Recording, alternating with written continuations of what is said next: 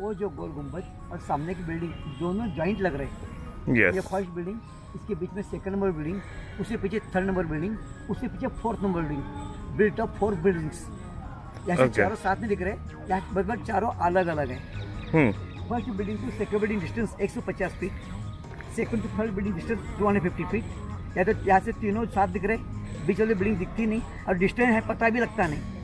ऐसा ऐसा लगता है शायद पूरा गुम्बज उन्होंने इसी फ़र्स्ट बिल्डिंग पर बन गया इस तरह देख रहे हो। सब गुम्बज पैक है दो बड़े मीनार हैं दो छोटे मीनार हैं उसके सेंटर में गुम्बज का ओपन खिड़की दिख रही है। दिख रहा सेंटर में? हाँ ठीक है दिख गया। हाँ, वो एक खिड़की ओपन है। क्यों ओपन है? इसकी हिस्ट्री में उसी जगह ऊपर बताता हूँ। ओके चलिए। खिड़की बताया था हम्म। अब इसी जगह दिखे तो खिड़की दिखती नहीं। अभी आपको पता लगा कि दो बिल्डिंग अलग अलग है पीछे से लगता था कि जॉइंट लगता था और हाँ। पीछे ऐसा लगता था कि शायद गुम्बज उन्होंने इसी बिल्डिंग पर बनाया इस तरफ़ देख रहे थे।